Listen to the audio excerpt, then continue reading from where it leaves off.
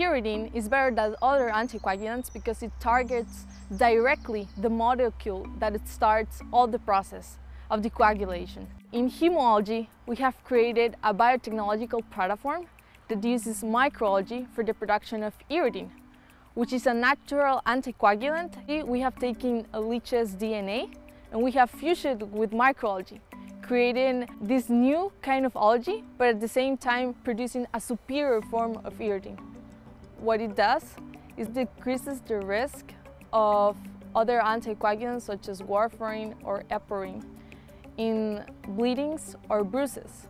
In hemoalgae, what we do also is reducing the cost of production of this high valuable compound, which is something that algae has as a benefit.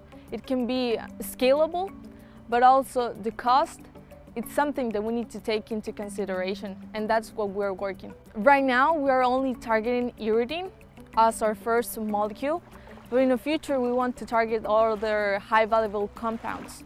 Algae is being used in a lot of things, for example, in food, also for biofuels. Algae has a lot of pigments, so that's why you see these beautiful green colors, but at the same time there's um, red algae or yellow algae, in which all of this is basically of its pigments.